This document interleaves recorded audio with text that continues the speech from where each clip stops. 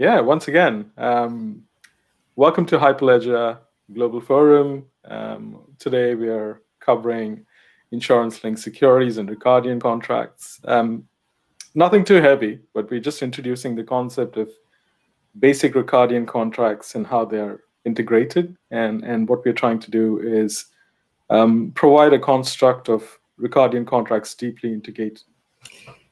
Uh, she says we cannot hear you, but I can hear you. It's very stra- strange. Can you oh, hear so us, Marta? Can everyone else hear us? Can anyone comment? Yes. Okay, brilliant. Brilliant, brilliant. Okay. we'll just go back then. Okay. Uh, Who's going to moderate the moderators? okay, go ahead.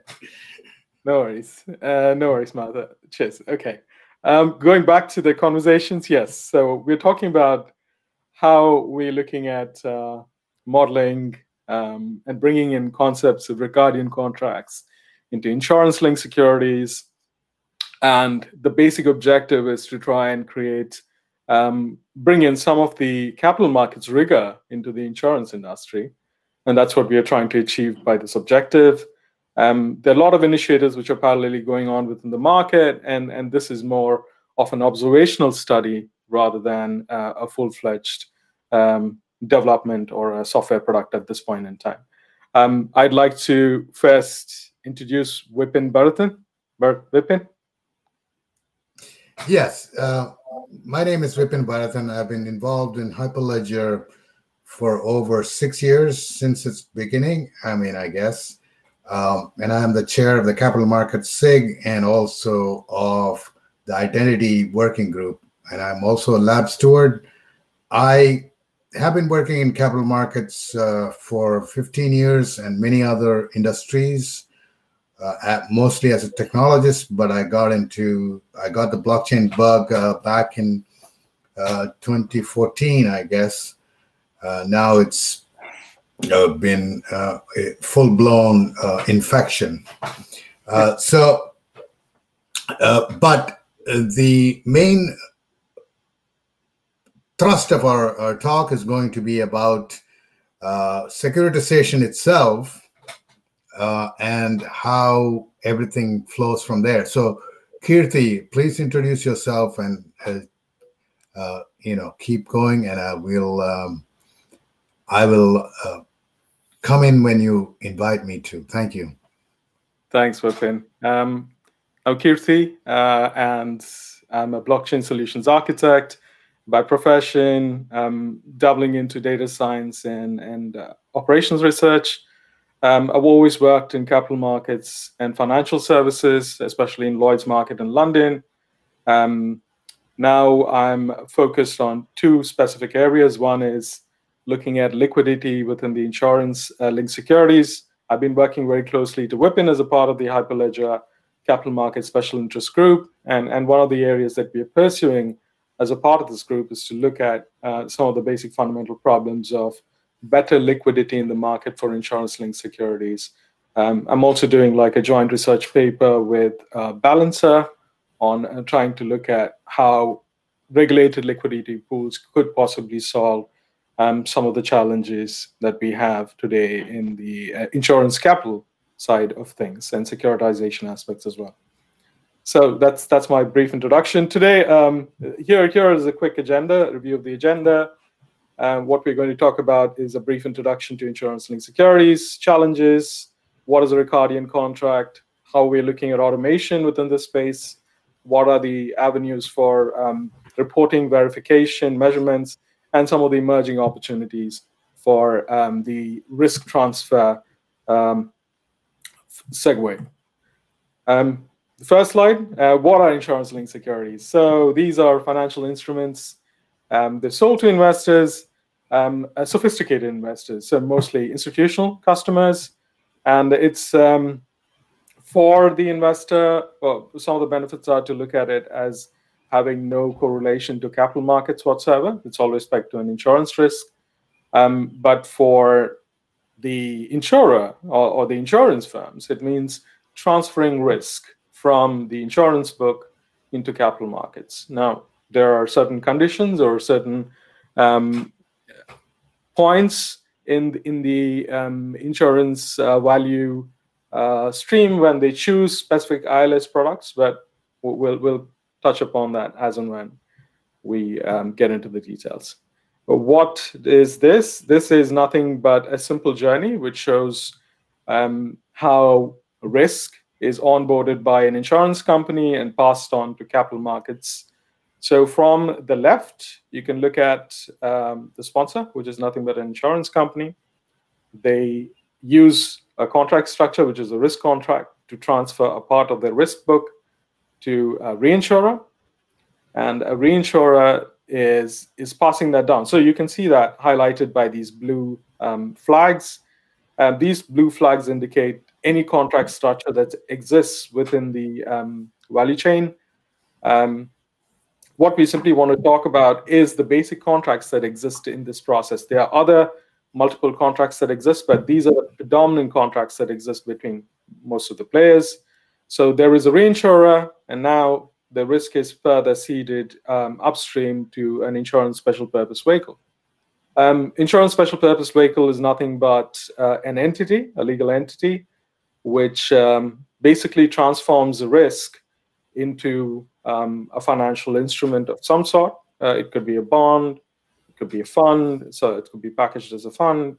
And that's where the whole stream of capital is, is moved in from the capital markets, um, and they are rewarded for the risk that they're taking on through what is known as a, a coupon or an instrument.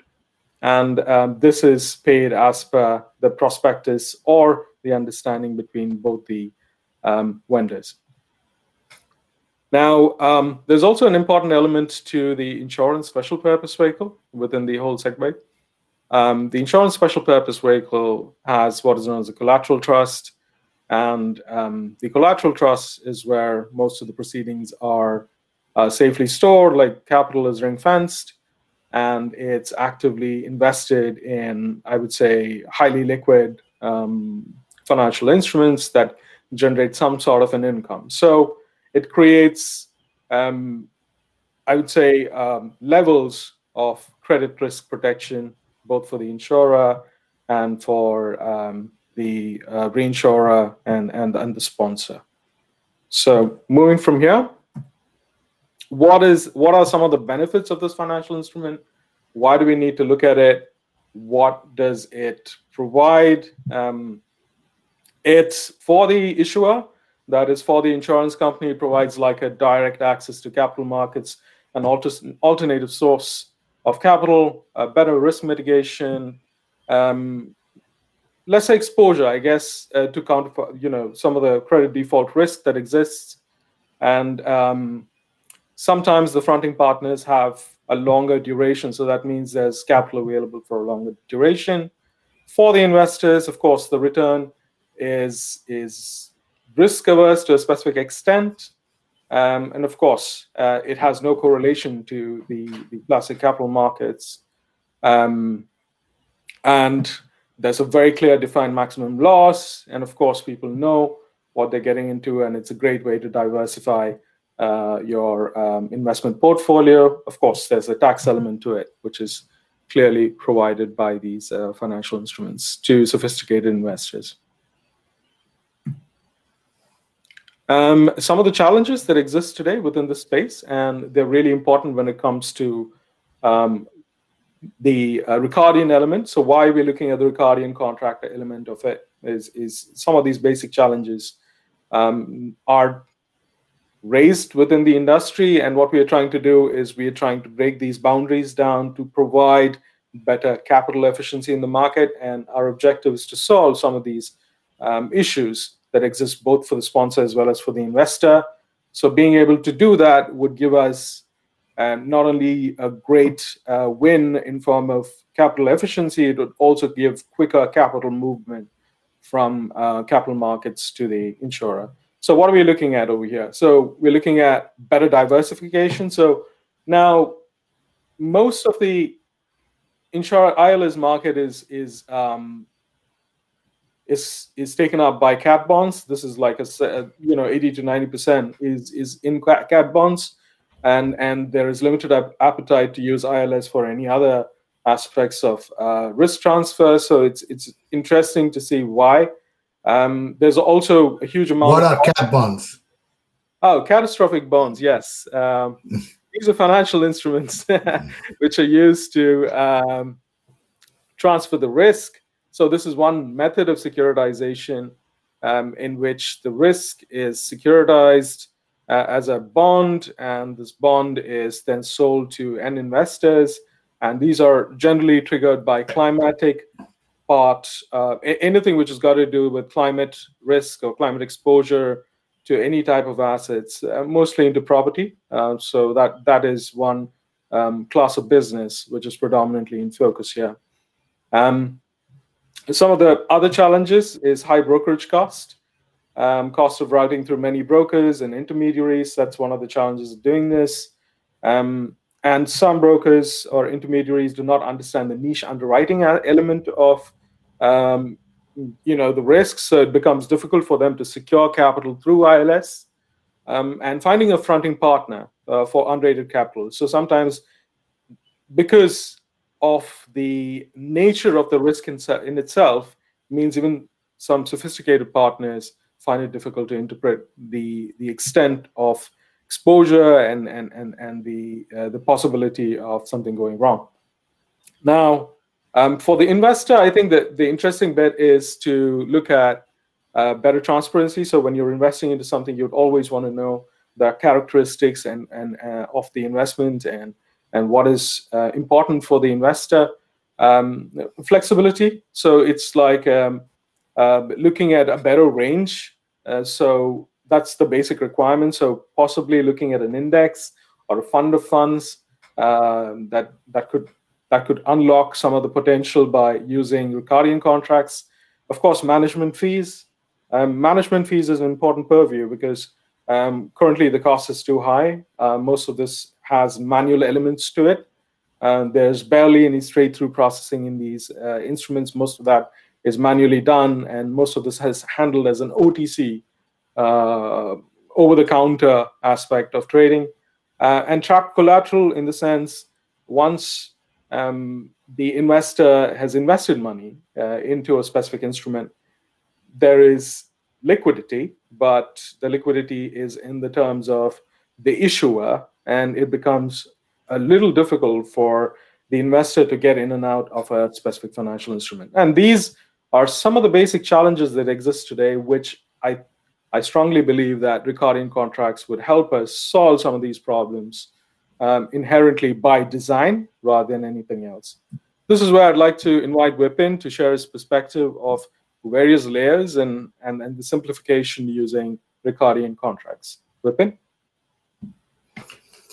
Yeah, uh, before we go further, I have to say that uh, the story of ILS is very similar to the way securitization is done in other uh, fields, uh, specifically any uh, debt-based uh, securitization like credit cards, like mortgage-backed securities, which obviously was prominently in the picture 10 years ago for or 15 now it's getting on 12 13 years ago um, for uh, cratering the market and causing lots of problems.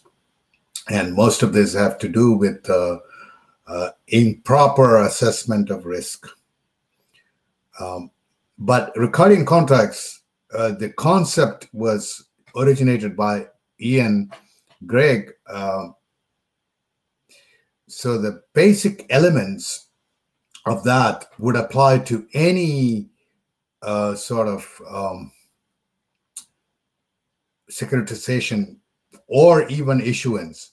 So basically, uh, the idea is to create through the stack, which uh, based on technology at the bottom, cryptography, software engineering, rights, uh, uh and then rights is uh, uh, in identity, you know, and and, and the linkage to the rights in a contract. And then it goes to accounting, which is basically payments uh, or uh, obligations. Then uh, the contract evolves into governance, value, and then finally the finance as finance uh, um, aspects uh, are emergent through all the, the, layers of the stack make it possible for the financial aspect of the uh, contract. If you go to the next slide, uh, so what is a Ricardian contract? Is a software pattern which is has a single document, which means that all everything about the contract it, it's it's uh, created by the issuer and is meant to be a contract between the issuer and the uh, investor. It's a single document. That means there are no other uh, places you should go to. It is a four corner, corners of a page, like in a legal sense. Uh, it is both human readable uh, and machine parsable because it is markup driven.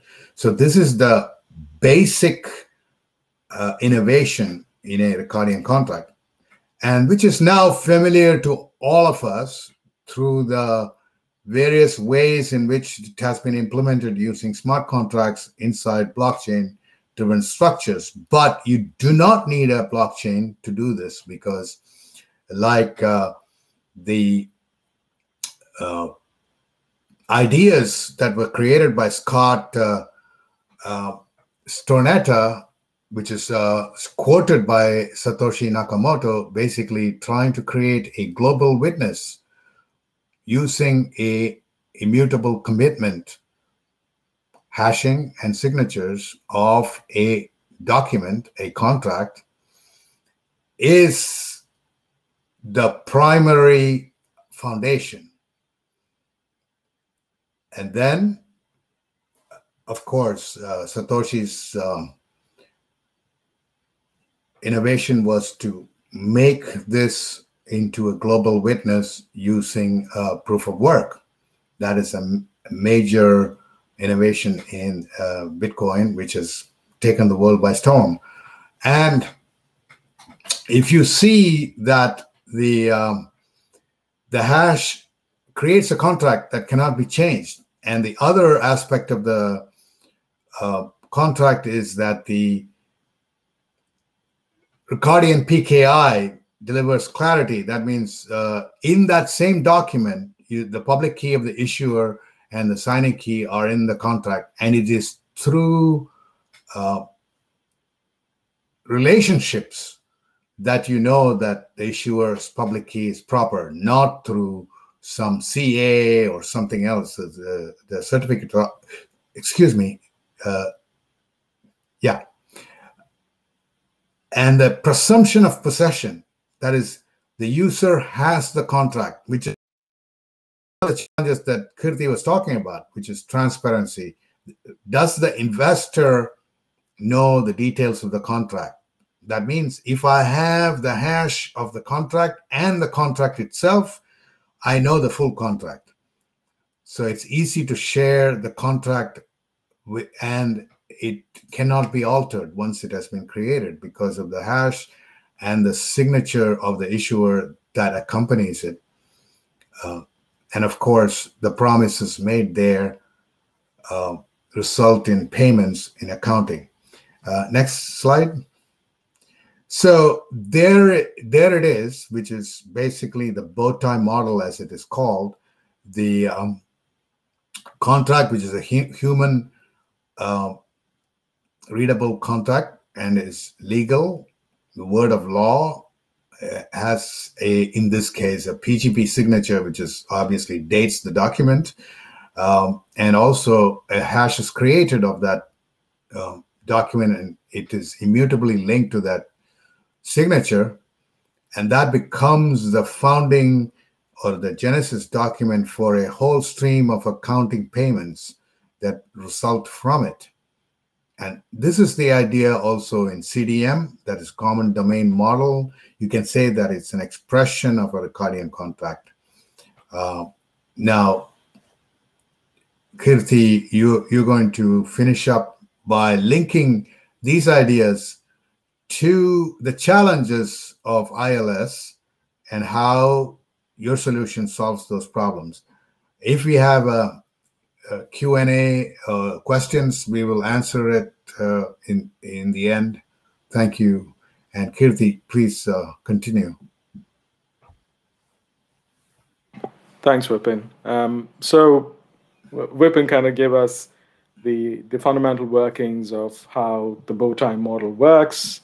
And, and we take it away from here to see how we can apply some of these basic fundamentals into um, um, the, um, the actual practical use in, in operations, um, that is in investment operations perhaps. So now, um, what we talk about here is the concept of several layers and, and data structures that could possibly exist. And, and some of these um, are derived by uh, the solutions that we are currently researching.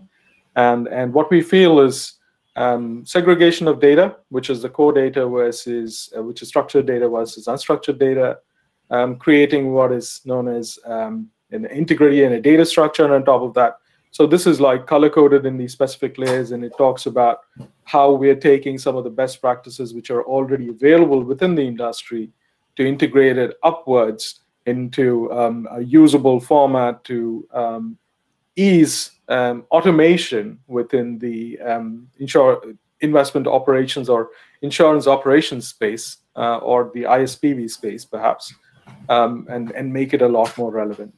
Now, the core data um, can be broken into financial data as well as um, contract-specific data, which is legal terms. Um, and this is separated uh, within the, the core data element uh, to, to say what is structured versus what is unstructured. Um, the structured part of the contract will still hold things within the CDM format and, and follow most of the CDM uh, which is nothing but a common domain model which has been specified by International Swaps and Derivatives Association. Um, and what we do over here is to look at two things. One is the core data constantly has what is known as the integrity and the data structure check, uh, something like a Linux operating system. So every time the contract is loaded, it checks it for integrity. And, and this, this layer on top of that is integrated into what is known as a logic layer. The logic layer is what connects the contract information to everything which has got to do with day-to-day operational elements.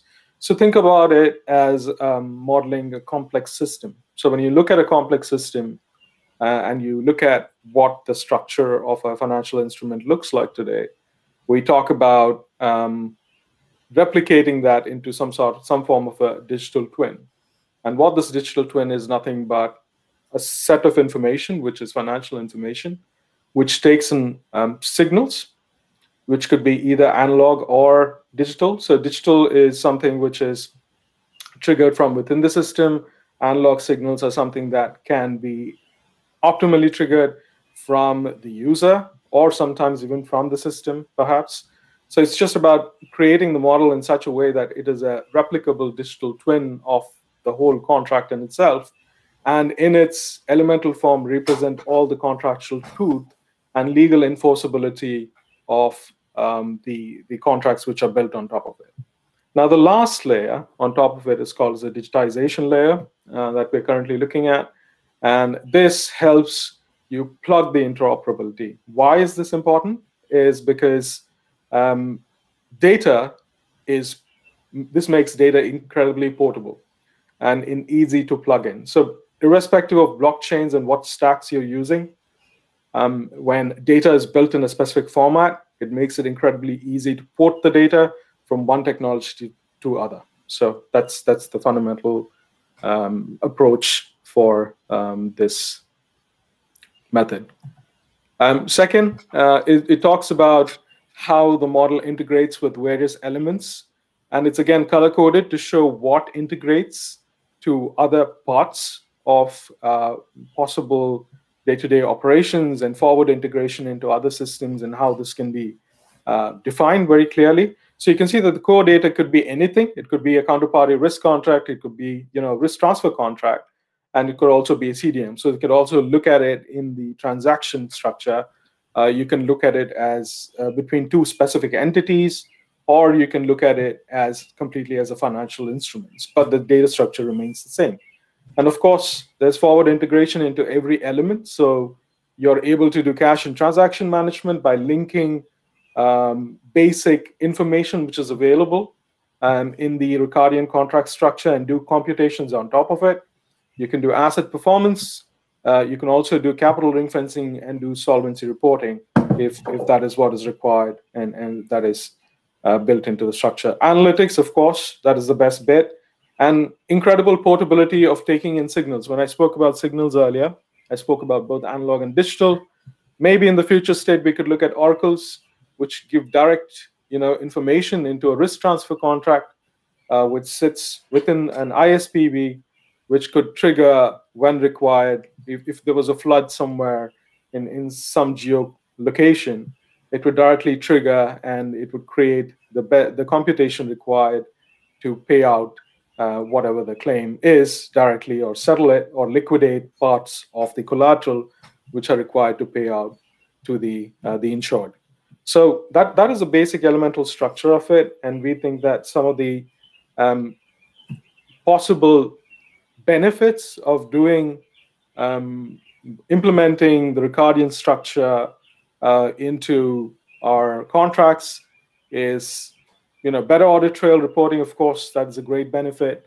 And I think straight through processing is is one of the biggest uh, uh, boons, and I, that, that cuts down the time. So it may cut down the time of um, transfers. It, you might want to wrap it up. Uh... Yeah, yeah, absolutely. Um, reduction, of course, in in errors, and um, last but not the least, the most important bit is um, expense ratio reduction because of lower manual intervention. So that brings us uh, to the last part, which is compliance by design, because at any given point in time, you know if you're solvent at all. So um, that is the whole bit about uh, Ricardian contracts and how it mitigates some of the challenges we had um, shared earlier within uh, these slides. And I hope that was useful for today. Vipin, any, any closing comments? Yeah, just yeah. that um, we have the references uh, at the end, and thank you for attending. And uh, most of it is uh, attributed to Ian. Yeah. And um, thanks. Hyperledger. Mm. Hyperledger. And thank you to Marta for moderating. Thanks, Marta.